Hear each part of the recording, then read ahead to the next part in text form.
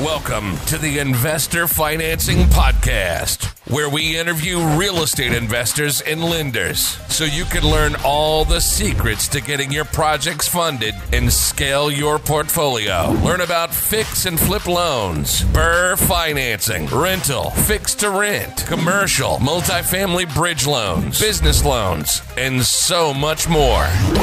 And now, your host, Beau Eckstein.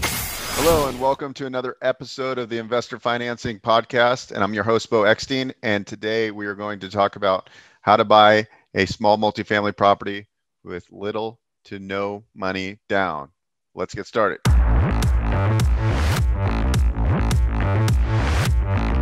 Top tip number one is, of course, we always shoot for seller financing. And why would a seller want to sell on seller financing? Uh, oftentimes, they'll want to sell uh, with paying as little in tax as possible. And if you learn about installment sales, that could be a very good tool for you as a buyer, right? Some of these sellers are, you know, they have enough money and they're just they're looking to sell the property, but they don't want to 1031 exchange it and defer taxes. They're ready to be out of real estate completely. So learn about installment sales and learn how to talk to sellers about the benefits of selling on an installment sale. You're listening to the Investor Financing Podcast. We'll be right back after this break. Are you looking for funding? Are you getting frustrated trying to find a lender? Visit investorfinancingpodcast.com and click the Get Funding button. Complete the simple form and schedule a free phone consultation with one of our placement specialists. We have a proprietary directory of funding partners that can help you get the funding you need. It's fast and easy to explore the options available for your specific needs. Don't wait. Visit investorfinancingpodcast.com and get connected. Also, they just might be interested in getting rid of the property without any hassle, right? They don't have to market the property. It's easier to sell on terms and they feel like they're helping you out as well, right? So it goes back to building rapport with sellers. Uh, number two way or technique to buy with little or no money down, you can go bridge loan with a seller carryback second. So you, you might get a bridge loan for 75% of the cost, including the capex and rehab. Seller carries back 15, 20, or 25%. You come in with little to no money there. You uh, get the property stabilized, running better, improve the property. Now you got a higher value in theory by forcing appreciation, refinance a year, two years down the road, or maybe the seller will stay in for a couple of years. But if you're going bridge financing, that's usually a 12, 24, 36 month term.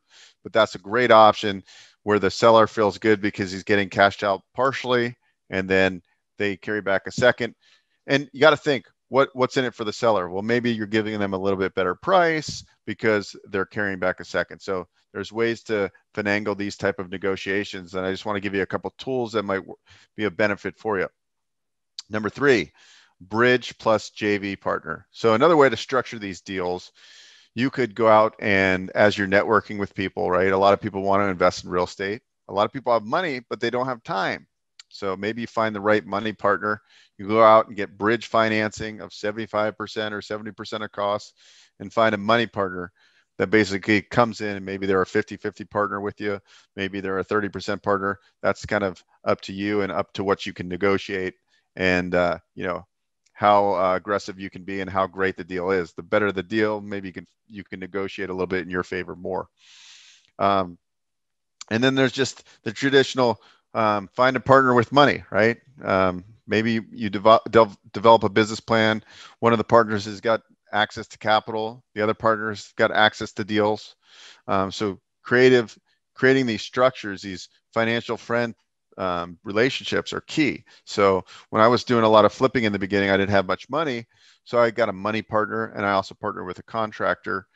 Uh, the contractor would do everything at cost. The money partner would obviously put up the money and it worked great. I would share in the profits, but some profits are better than no profits. Uh, additionally, what you can do is you can go and potentially do a master lease on the property where you lease the property, get it running correctly, raise rents, uh, increase net operating income, and then refinance the property down the road, pay off the um, pay off the seller at that time. You can also option the property. There's many ways, there's many tools that you can use. I just want to throw out some in this episode where it might help you kind of think outside the box on getting these these deals done. Uh, sometimes I've seen people do. Um, maybe they're a real estate agent and they write in the purchase agreement that they're going to get a, a, you know a 10% commission. Then they apply the 10% commission to closing costs or to a down payment. Right? There's things you can do in commercial financing, create these win-win deals. I see people structuring deals all the time in creative ways, and we always wonder how do people actually really buy money or properties with no money down? People do it all the time. I can say I've done it many times. So it's out there just educate yourself on these structures and don't be afraid to negotiate. Thanks for watching. See you on the next episode.